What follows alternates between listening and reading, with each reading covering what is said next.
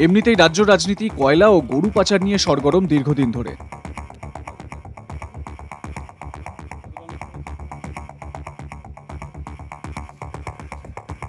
তারই মধ্যে আন্তর্জাতিক জলসীমার অন্তর্গত ঠাকুরান নদী দিয়ে কয়লা পাচার করতে গিয়ে পুলিশের হাতে গ্রেপ্তার হলো সাতজন।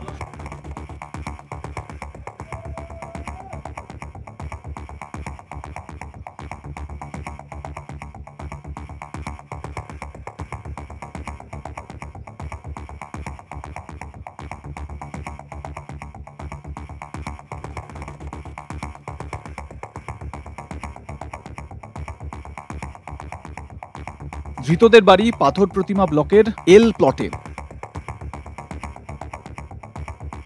পনেরো টন কয়লা সহ একটি ট্রলার বাজেয়াপ্ত করেছে পুলিশ।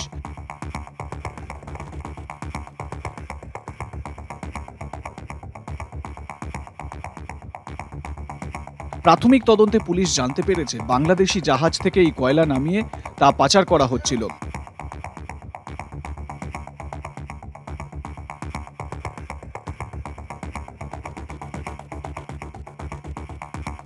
কুলতলিতে সেই কয়লা পাচার করা হচ্ছিল একটি ইটভাটায়। ঘটনায় মইপিঠের বাসিন্দা জাকির শেখ নামে এক ব্যক্তির নাম উঠে আসছে। তার খোঁজে তল্লাশি শুরু করেছে কুলতলি থানার পুলিশ। এল প্লটের বাসিন্দা ভবশঙ্কর মণ্ডলের ট্রলারে করে পাচার করা হচ্ছিল কয়লা।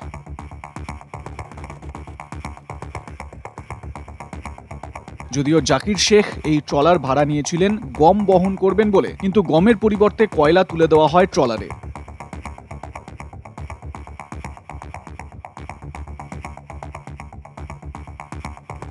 ট্রলার ভর্তি কয়লা দেখে কুলতলি থানার টহলদারি পুলিশের সন্দেহ হলে তারা ট্রলারের লোকজনকে জিজ্ঞাসাবাদ করেন। কিন্তু কেউই এ সম্পর্কে সদুত্তর দিতে পারেননি। পাশাপাশি কয়লার পর্যাপ্ত কাগজপত্র দেখাতে না পারায় পুলিশ সেগুলি বাজেয়াপ্ত করে।